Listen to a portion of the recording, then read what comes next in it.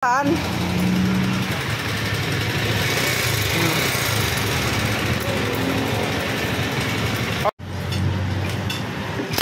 Ay. Sagad na kasi siya oh. Dapat dito nilagyan busing kaya nabasag.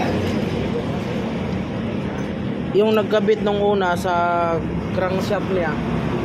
Dalawang washer, parang barako ba? Oh, yung may produkto kasi dalawang klase yun eh. Ah, dito sila nagkamali. Dito sila nagkamali. Hindi nila napansin na ang dapat yung standard na connecting rod, stock niya, sinukat niya yung clearance. Na sinukat yan. Kasi may mga connecting rod na lumabas na may kasama ang washer do sa gilid. Oh, kinabit yung washer. Ang nangyari, naging maiksi. Oh. So ngayon, lumapad yung clearance dito. So pag close ng crankcase, basag, hindi napansin. Basag yung cover, yun yung dahilan. Dito nagkamali yung nag-press at saka yung mekaniko. Hindi sinukat. Tanggalin ko yung dalawa, ibabalance ko. Kasi ito yung stock ko. Ito. Para mas maunawaan ang lahat. Ito. Ito. Ito. Dalawang klase kasi lumabas ng kuan yung connecting rod na pang aftermarket. Dalawang klase. Ano yung dalawang klase tutukoy ko? Ito na walang washer dito. Ibig sabihin, ito yung pinaka-standard niyang sukat. Hindi yun na na eh, ganito connecting rod. Kasi ano to, aftermarket to. Yan, ang isang lumabas na connecting rod, tanso yung busing dito, tanso yung busing sa ilalim, pero mayroon siyang washer. So dapat hindi na kasi ako ma- mayroon nag-supply sa akin dating ganito, naubusan lang.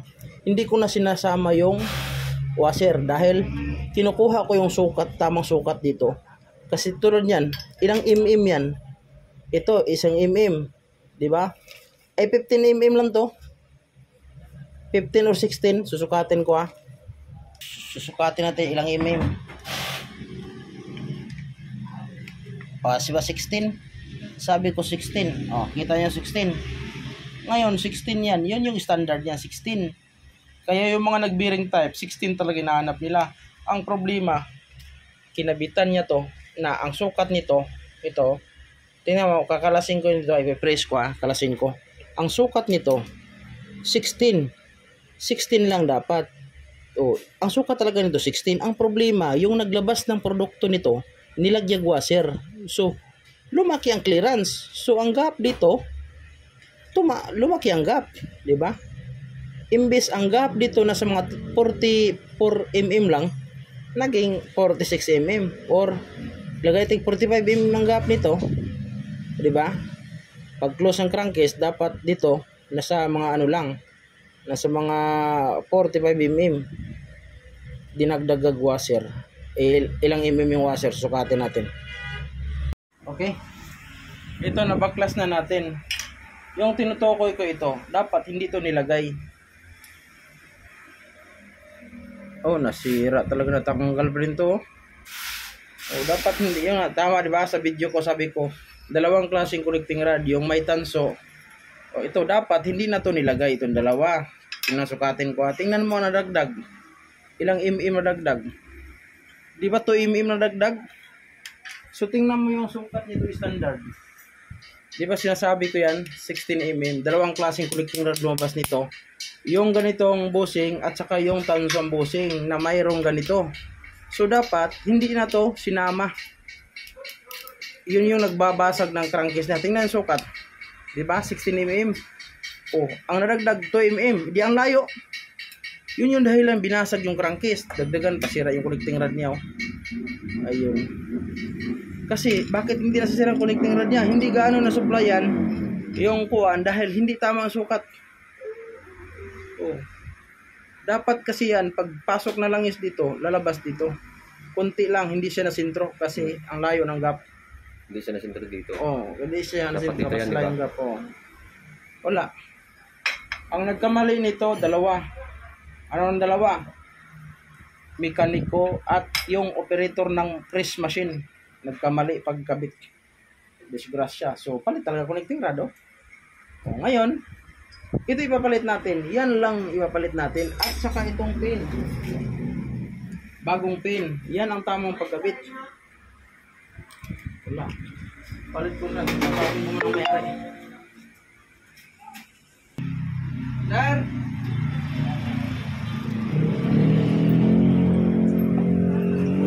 Kaya mo na. Dito nagkamali yung ano, mekaniko at saka yung operator ng press machine. Ito yung sinasabi ko bakit nilagyan ito. Kaya layo na. Pero yung sukat din sila ang nadagdag oh. 2 mm. Lahat talaga babasagin talaga. Oh, 2 mm. Ngayon, basag crankcase mo. Kaya ito yung dahilan. Ang standard kasi niya, ito, 16 mm. Ito lang dapat ilagay at saka pin. Yun na yung tamang sukat. Pareho sila oh. Oh, 16 mm, 16 mm. So, gidagdagan ng 2 mm. Oh, wasak yung crankcase. Tapos yung dito ba? Kaya ang gagawin natin, oh, ito lang dapat. Halimbawa, ito, lagyan ko sa panibagong pin dito. Dapat ganun lang. Wala na dadagdag sa dito. Oh, dapat ganun lang. Wala na siyang eh, masira pa. Baka masira pa ano. Diba? May gap na.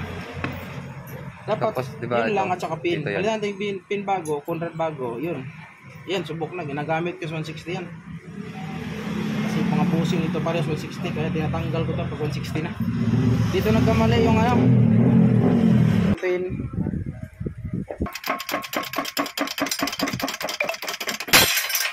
Yan. Limay.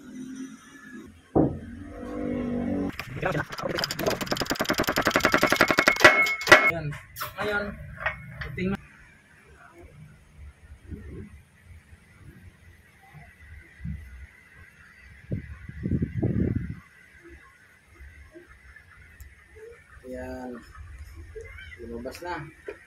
So pagkatapos, balik natin dito. Dito.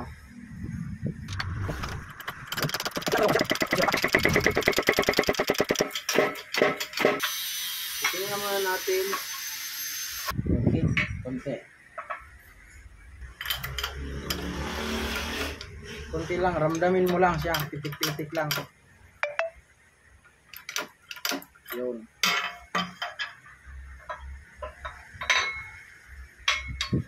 Very good. Okay. Tapos dito.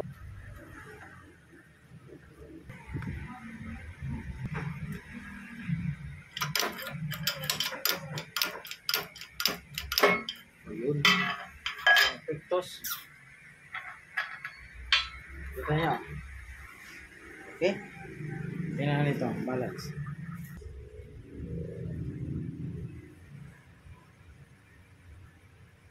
Yan. Ayan. Ayan. 5 or 44. O, di ba? 44. 45, 44 lang dapat. Standard.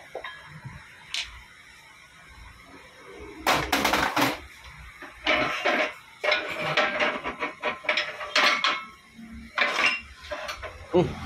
BGM ko ubay. Op, op, op, op, op, Eh, ikaw bangga dito sa ano? Bangga sa hose. Ha? Bangga sa hose. United Bearing Center yan. Okay. Lagay natin to. No, wala nang eh. Ayan o. Kailangan itapat natin doon sa ngipin at saka dito sa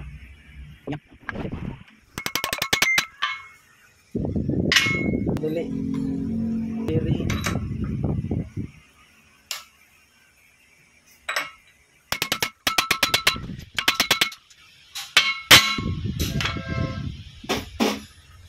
Para ito nag-press lang. Wala siya. Okay, balik. Last.